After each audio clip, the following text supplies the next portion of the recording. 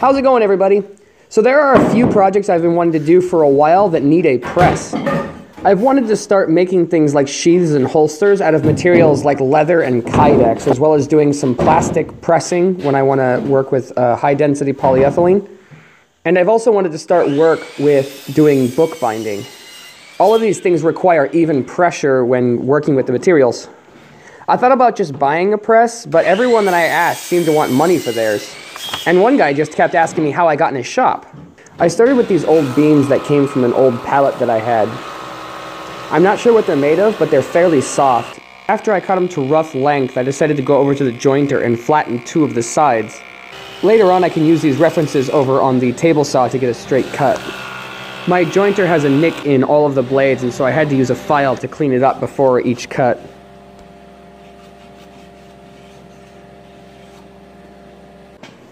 Ellie was also helping me clean.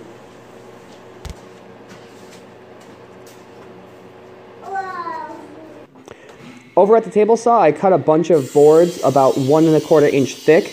I needed some panels about 18 by 18, so I used these boards to glue up into those panels.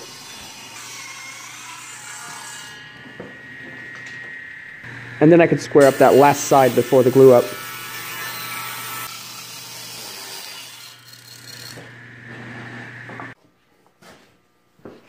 When gluing up these giant panels, I like to glue them up as many as possible at the same time. The trick here is to leave one of the connections without any glue so I end up with two separate panels and not one large one. If I do end up with one large panel, it's not the end of the world. I can always cut it apart on the table saw, but it's a lot easier if it just works first try.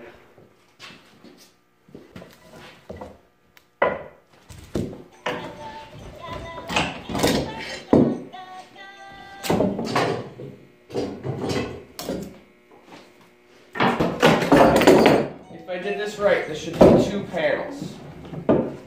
Aha!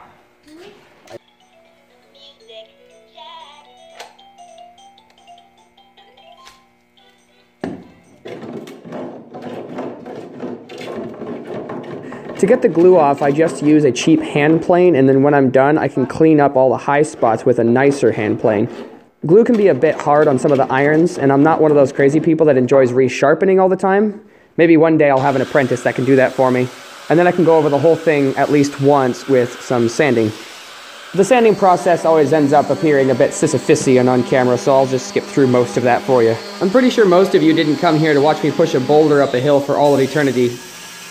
Back over at the table saw, I can cut an opposing side parallel to the first edge, and then I can square up the other two sides 90 degrees to that first edge.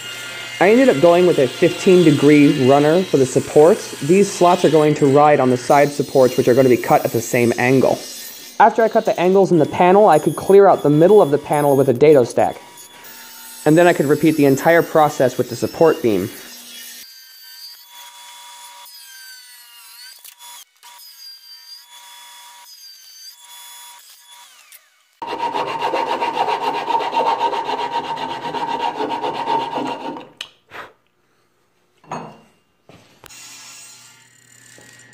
And now I can match that same angle on the side supports that the whole mechanism is going to slide around. So this part, I sort of neglected this earlier. I was paying too much attention to the durability of the top support that I forgot about the bottom being under the same amount of force. So I added another panel to the bottom so I could place a second piece of support at the base. It wasn't really that big of a deal, but it would have been a lot easier if I had done this at the beginning before I cut all of my pieces. The whole piece is going to be put together with dowel joinery, mostly just because I think it'll make the project look cool, but it also gives an incredible amount of rigidity to the project when it's done. In the main support beam, I needed a stepped hole for the lead screw and flange assembly, so I cut the final dimension first using a circle cutter, and then I could clear out the rest of the hole with a Forstner bit. And then the last hole that receives the lead screw itself needed a custom fit, so I ground down a spade bit to the same diameter as the lead screw. And then everything else just came down to chiseling out the mortise that receives the flange.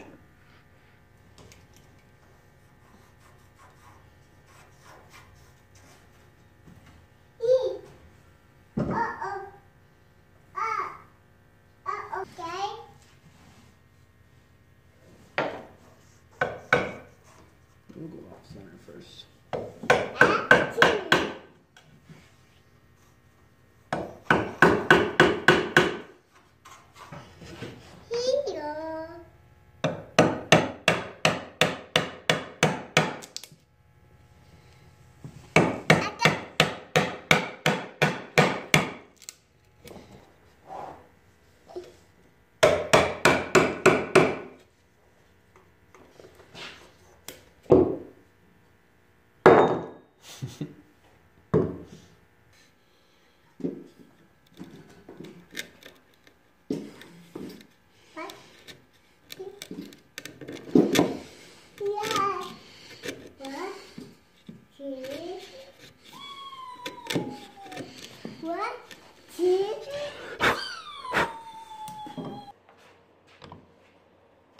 Anytime you have a threaded rod going through a wooden hole, it's really easy for the rod to catch the fibers on the back end of the hole.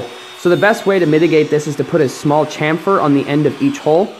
That way all of the fibers are always supported by something. I needed a way for the flange to be held in, and it seemed the easiest way was to simply drill and countersink the flange so I could just screw it in place. Alternatively, I could have just made another board to fit underneath the flange to hold it in from the bottom, but I really wasn't sure how long that would last before the flange started getting a bit wobbly inside the hole. So I ended up just screwing it in place and that worked pretty well.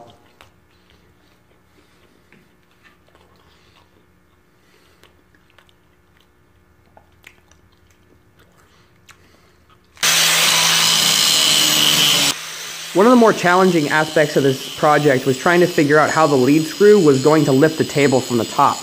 What I ended up doing was cutting a groove around the perimeter of the lead screw so I could attach a washer that I had cut in half. That way the washer would be able to fit around the groove. And then that entire assembly could be captured in place by this wooden housing.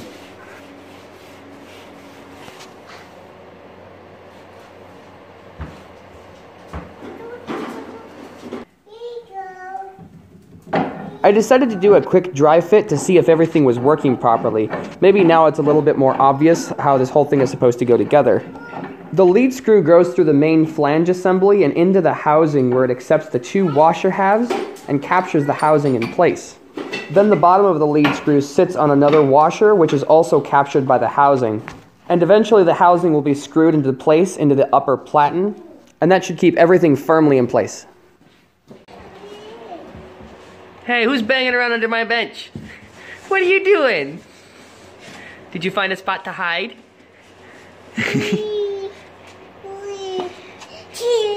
Cheese! I needed to find a way to attach the lead screw to the arm that drives the press. What I ended up doing was flattening out the sides of the lead screw so it would stay in place in the arm, and then I could cut a hole in the arm to match.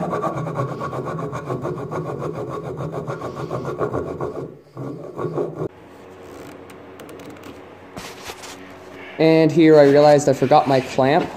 Whoa.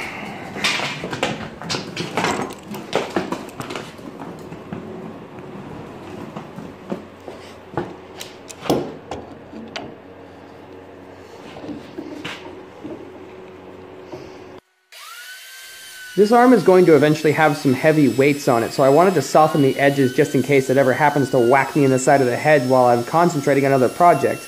Also, I just think these chamfers look cool. It sort of accentuates its ovalness.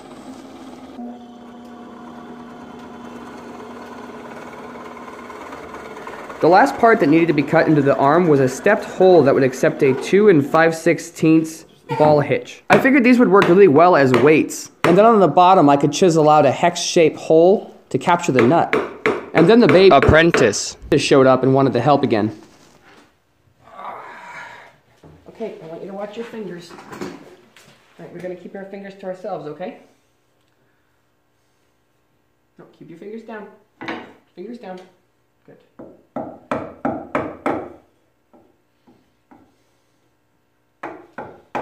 Fingers down. Distracted. Do you see yourself? Hi.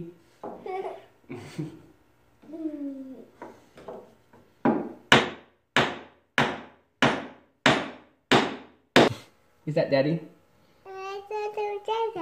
Yeah, and was that Ellie? I will be data. Ja, Ellie and Dada. I will data. mm-hmm. I will do bell. So last time I filmed myself using a stain, I got into a bit of trouble with some of the safety Sally types here on YouTube. Of course, I'm not talking about those of you who were politely voicing concerns, but a bunch of people got upset because I was using finishes around my daughter, but I always check the back of the can to make sure that it's safe for skin contact and it doesn't release any fumes. This is a pre-stain and it's perfectly fine for skin contact and no, it does not create any fumes. And you'll notice here in this next shot, right about here, I switch over to a wood stain. This isn't harmful to the skin, but it does create a bit of a toxic fume, and it's really not good to breathe it in. So, two things. One, you'll notice the baby is not anywhere near me, the baby's inside, she's fine. Also, throughout this finishing process, I make sure my shop is well ventilated, so there's really no issues to worry about. So, some of you guys really just need to calm down. On the top layer of the finish, I decided to use a wax for two reasons. This is so that the parts that come into contact slide across each other easier, and it also helps the assembly since the glue won't stick to the wax.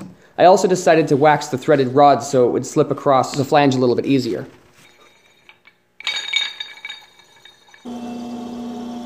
Once that was all done, it was time to put the pins in. The flat sides of the lead screw are already going to hold the arm in place, but I decided to also put these pins in to make sure that it stays in place. Okay, I'm in the middle of editing this video and I realized I forgot to film myself hammering in the pins. So, there they are. It looked kind of like this. Yeah, that was pretty much it. All of the main four joints of the press are held together with glue and dowels.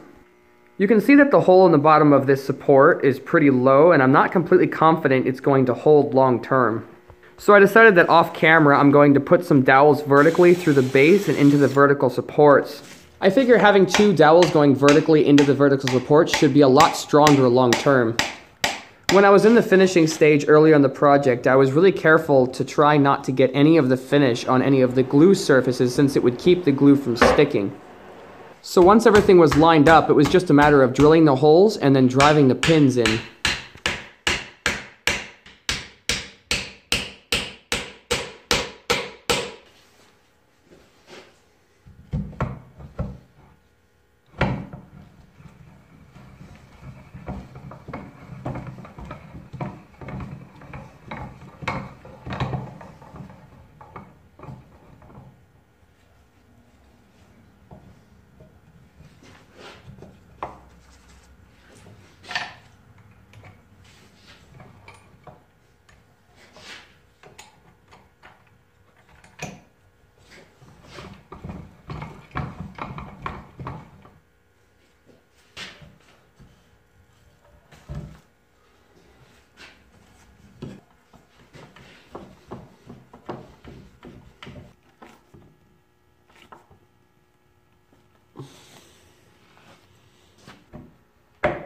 I decided to make this press in a style similar to the old machinist fly press. I don't think this has ever been done on a wooden press before, but I thought it would be pretty cool to try.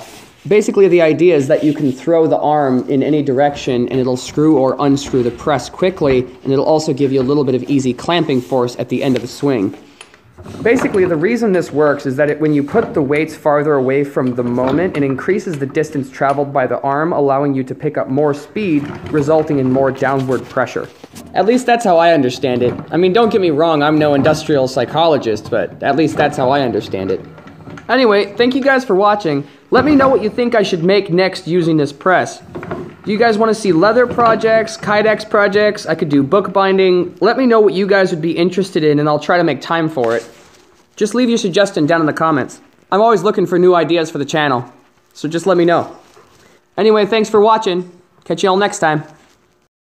Alex Steel action shot.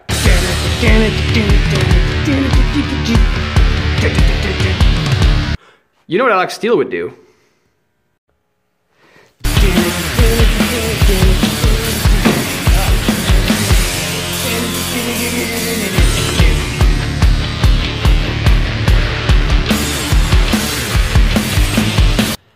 Flat.